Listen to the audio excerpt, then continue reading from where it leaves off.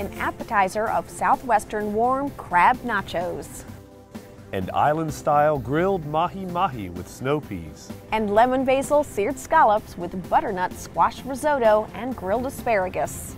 And a breathtaking view of the traffic on the Intercoastal Waterway. Our visit to Blue Water Waterfront Grill starts right now on Secrets of Coastal Chefs.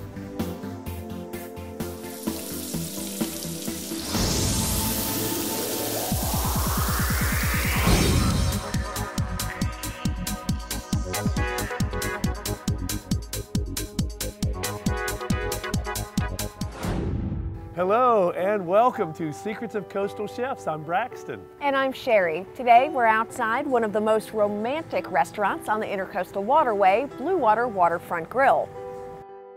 Fresh seafood is easy to come by when you're this close to the water, and Chef Jeff Scott takes full advantage of the local seafood and produce.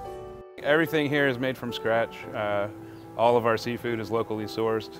Uh, it comes from Greenville Loop Seafood.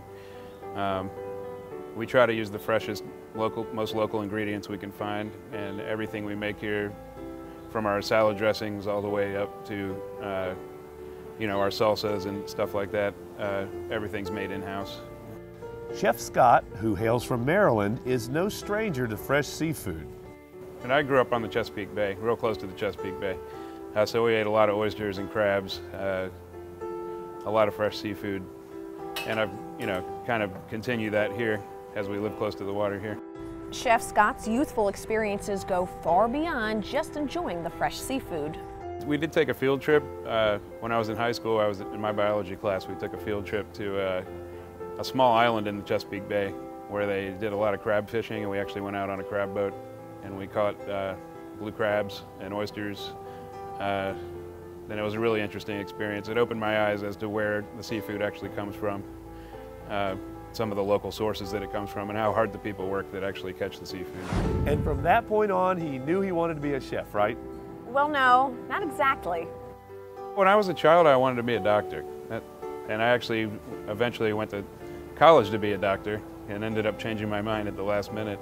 Uh, I spent a lot of time working in restaurants ever since I was 15 years old. I've been in a restaurant, started out as a dishwasher and worked my way up, you know, to a line cook and eventually, you know, when I was in college, I ended up missing more classes because I wanted to be in the restaurant cooking. And I, and I finally realized, hey, this is what I really want to do.